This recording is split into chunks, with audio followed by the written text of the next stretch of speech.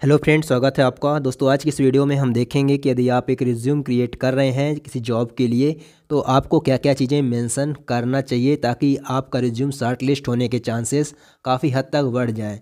दोस्त रिज्यूम तो सभी क्रिएट करते हैं बट आप देख सकते हैं रिज्यूम दो तरीके से होते हैं, एक प्रोफेशनल रिज्यूम जो कि आपको इस तरह से नज़र आते हैं, और दूसरे मॉडर्न रिज्यूम जो कि आपको इस तरह से नज़र आते हैं। कैसे ये क्रिएट किए जाते हैं, कैसे ये रिज्यूम बनते हैं तो इस पर मैंने डेडिकेटेड वीडियो बनाया है। इंड स्क्रीन पर आपको वीडियो मिल जाएगी, आप जाकर चेकआउट करिए। हंड्रेड आप इसी तरह से मॉडर्न और प्रोफेशनल रिज्यूम बना पाएँगे।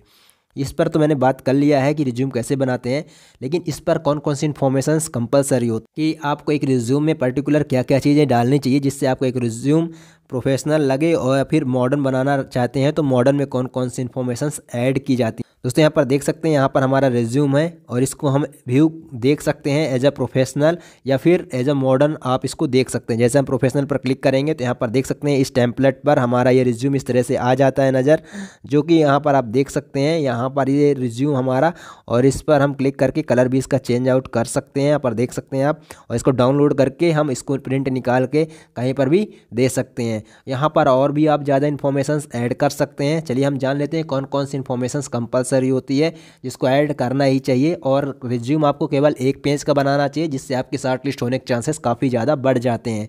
तो चलिए हम आपको दिखा देते हैं कि यदि आप मॉडर्न बनाना चाहते हैं तो मॉडर्न में कैसे होता है तो यहाँ पर आप देख सकते हैं, जैसे मैंने इस पर क्लिक किया तो बस यहाँ पर ये एक सॉफ्टवेयर है जो कि रिज्यूम आपके क्रिएट करके दे देता है, एक टेम्पलेट आपको देता है, जिस पर केवल आपको इन्फॉर्मेशन इस सॉफ्टवेयर में बतानी होती है कि आपकी क्या क्या क्वालिफिकेशन है, क्या अचीवमेंट है, सब कुछ बताना होता है, बाकी रिज्यूम आपको बनाकर दे देता है। बाकी आप अपना कलर में मॉडिफाइड कर सकते हैं, और भी चीज़ें मॉडिफाइड करना चाहें तो कैसे करना है, ये चीज़ भी हम आपको बता देंगे।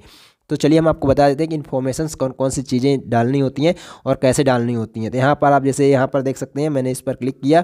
तो यहाँ पर आपको ये सारी इन्फॉर्मेशन डालनी होती हैं एक रिज्यूम के अंदर। जैसे कि personal detail education experience personal detail में दोस्तों आपको बहुत सारी चीज़ें आ जाती हैं आपकी पर्सनल चीज़ें।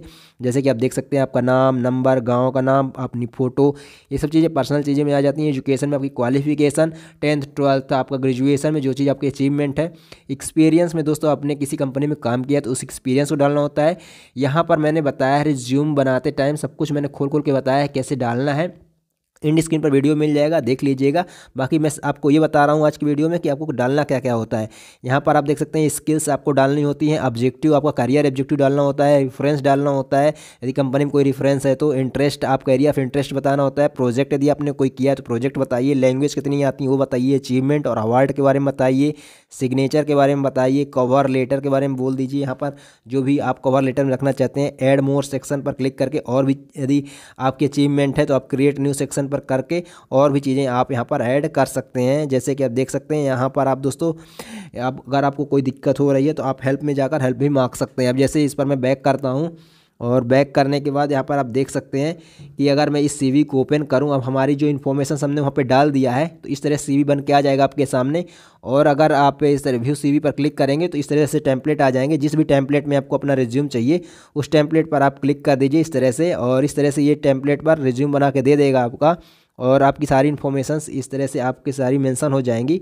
तो आपको जिस भी टेम्पलेट में अपना रिज्यूम चाहिए, उस टेम्पलेट को आप चूज़ कर लीजिए। मॉडर्न चाहिए तो मॉडर्न टेम्पलेट को आप यूज़ करिए। आपको जैसा चाहिए वैसा आप यूज़ कर सकते हैं। दोस्तों, इस तरह से आप ये सारी इन्फॉर्मेशन अपने रिज्यूम में डालिए तो आपके रिज्यूम शार्ट लिस्ट होने के चांसेस बढ़ जाते हैं। थैंक यू चैनल विज़िट करने के लिए आपका बहुत बहुत धन्यवाद।